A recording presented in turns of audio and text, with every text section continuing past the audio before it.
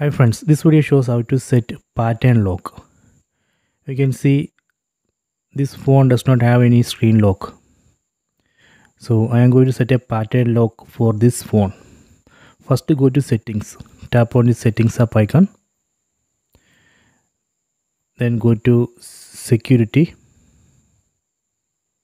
tap on security.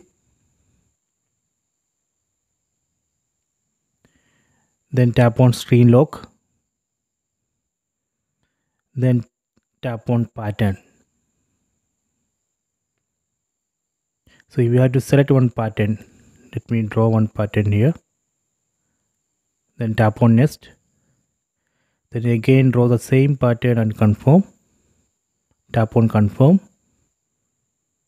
Then tap on done. Okay, done. So now screen lock with the pattern is ready. So let me test it. Lock the screen. Then try to unlock. See it's asking for the pattern. I need to draw the pattern. Then only I can access this phone. See. Okay, this way we can set screen lock. Screen lock with the pattern.